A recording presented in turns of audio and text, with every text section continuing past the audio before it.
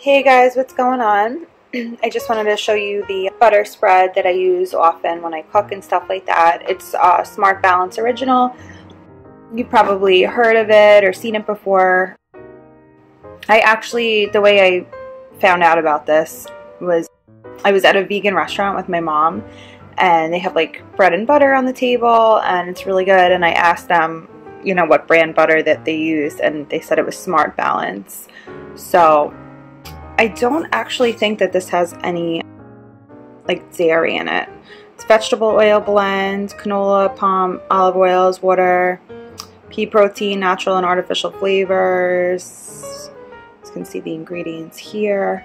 I'm pretty sure that it is vegan for those of you that are. I'm vegetarian, so I but I have any uh, milk products or anything like that.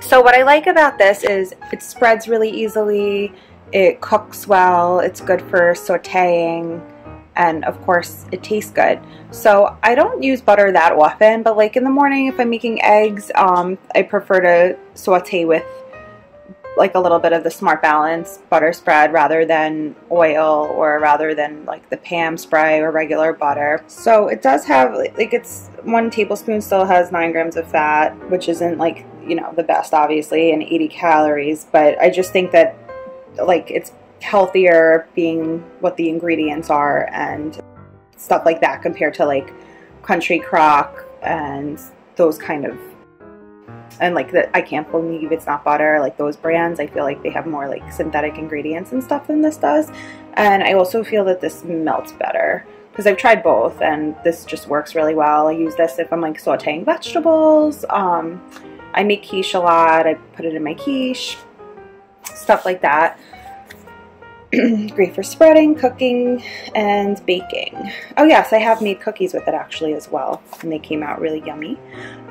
Zero grams trans fat, excellent source of vitamin D, 20%, gluten free, which I know a lot of people uh, look out for these days. Tastes great, 60% less saturated fat than butter. Butter, 7 grams saturated fat per serving. This product is 2.5 saturated fat per serving, so just better for you, like especially if you have kids and you're looking to, you know, just feed them like a little bit better. This is 64% uh, vegetable oils that it's made with. It's 15 ounces. You could get this online. They sell it in most grocery stores. This is the original, but they have other kinds as well that I have not tried. So there's 400 milligrams of omega-3s. That's also really good because I don't really get any omega-3s other than this, I don't think, embarrassingly. Let's see what else is on here. Keep refrigerated, of course before and after opening. You guys can see the consistency of it. It's the top will like harden and turn a little bit yellow, but it's very, very easy to spread and I'll show you guys.